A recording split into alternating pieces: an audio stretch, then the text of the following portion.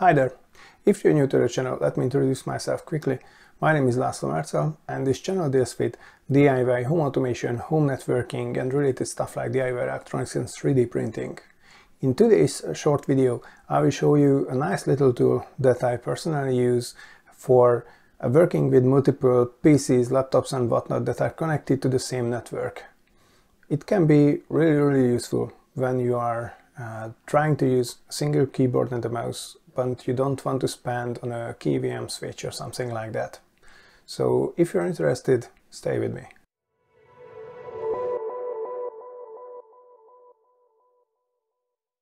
So this is a site that greets me every morning when I come to my home office. And yeah, I'm not talking about the crappy cable management nor about that weird cableless Raspberry Pi, but I'm talking about having space for two computers, my company laptop and my PC, and with it for only one keyboard and one mouse. Now of course you can say I could use something like a KVM switch and get done with it, but then again I would say yeah, for a KVM switch you need to spend money. And why do that when you have an elegant free solution? Also regarding KVM switches, I have some bad news for those who are into gaming because well I know some of you are. So a KVM switch is basically a device that uh, watches out for specific key press on the input which is your keyboard and your mouse and uh, based on the key presses it will just uh, decide which way to route the output. So either to your PC1 or laptop or whatever or PC2 or laptop 2 or whatever. But the point is it introduces input lag and yeah that can be bad.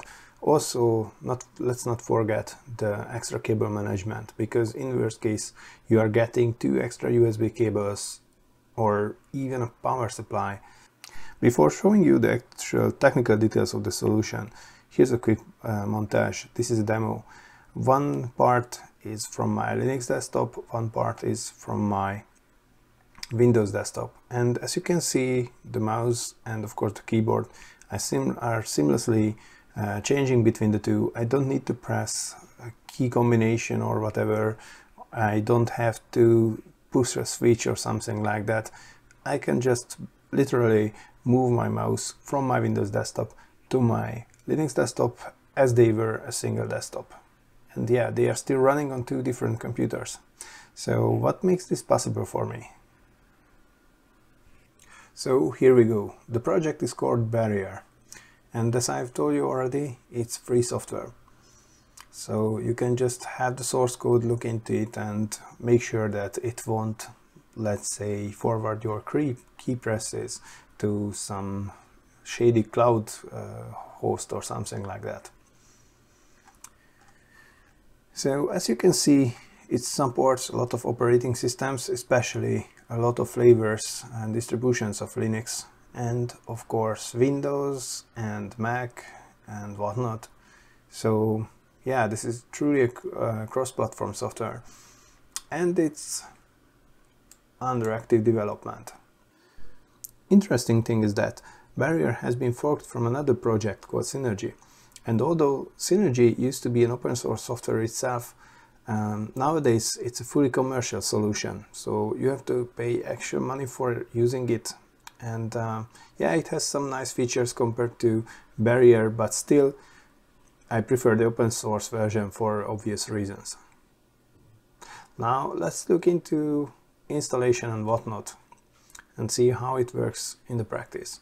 As you can see, installing it is pretty simple. It's just a binary, you start, and then it greets you with the usual installation wizard so you can just like click click next next finish whatever.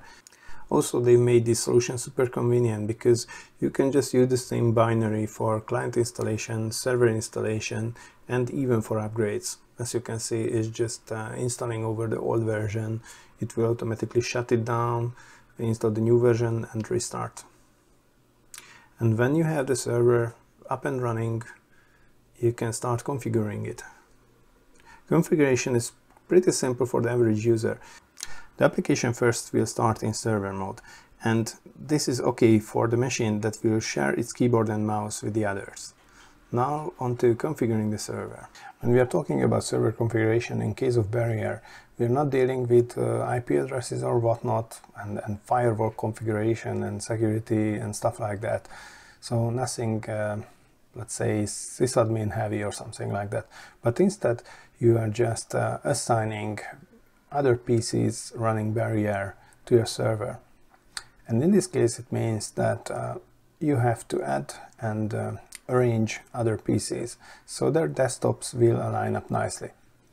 Now you can see here I have my laptop called Stargazer and my main PC called Nexus and uh, they are aligned next to each other just like the physical devices on my desk. So that's how their uh, desktops will add up. Of course nothing will prevent you from rearranging your desktops to your personal preferences.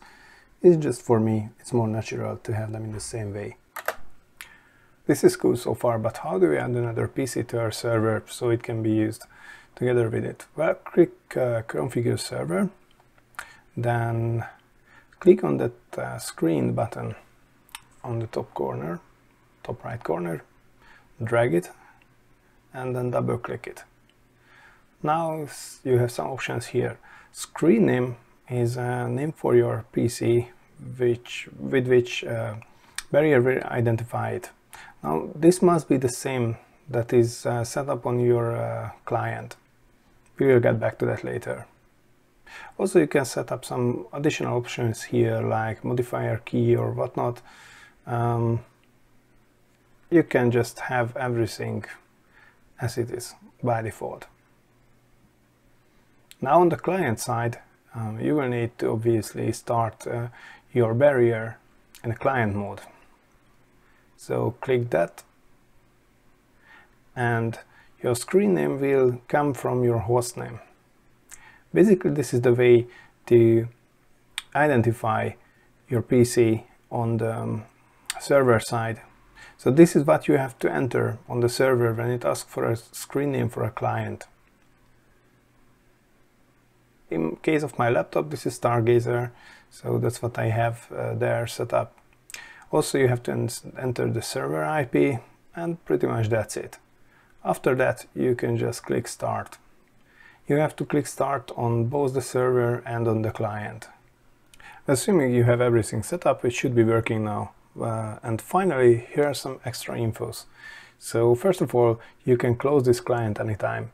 Barrier runs as a background service both on the, on the client and on the server, so you can just close it and it will be still running. If you change the configuration in whatever way, you will have to press reload.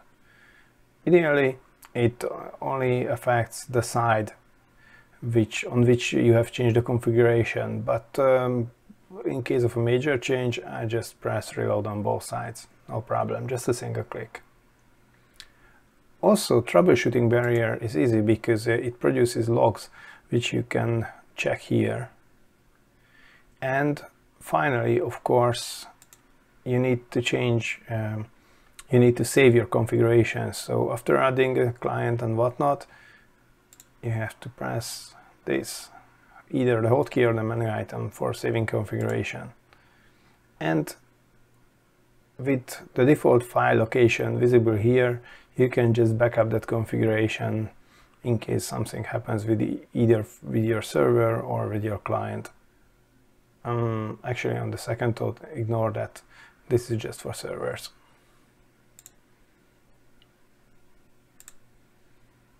Also, there are some settings which are generic and yeah, you can override the screen name here in case you don't, you're not satisfied with using your hostname as a screen name. You can change the log level and you can set up a log file logging info is uh, quite uh, verbose on info level. You will see all the connections and stuff like uh, the event of moving your mouse from one desktop to another. So if you're switching a lot, uh, you might want to tune this down a bit to maybe warning or something like that. And I guess it's pretty much that's it have fun using Barrier. So How do you like the idea of Barrier so far? As I told you, I really like it. I mean, it's lightweight, it's free, it's easy to use, it's compatible with all the operating systems out there, or most of them. So yeah, why not use it when you need something like a KVM switch, which costs money, and this one doesn't. So yeah, time to close this video. Uh, one question though, if you're using such a solution, I mean sharing a single uh, mouse and a keyboard between multiple computers and uh, laptops and whatnot, please share it in the comments because I'm curious what other people are using for this purpose. Anyway, thanks for watching the video. Hope to see you next week with a new video with a new topic. And until then, yeah, stay safe out there. See ya. Hey, thanks for watching this video. If you liked it, hit like. If you want to help my channel and see more of my content, hit subscribe. If you want to check out behind the scenes and want to know more about me, then follow me on social media. You can find the links here. Thank you again and see you next time.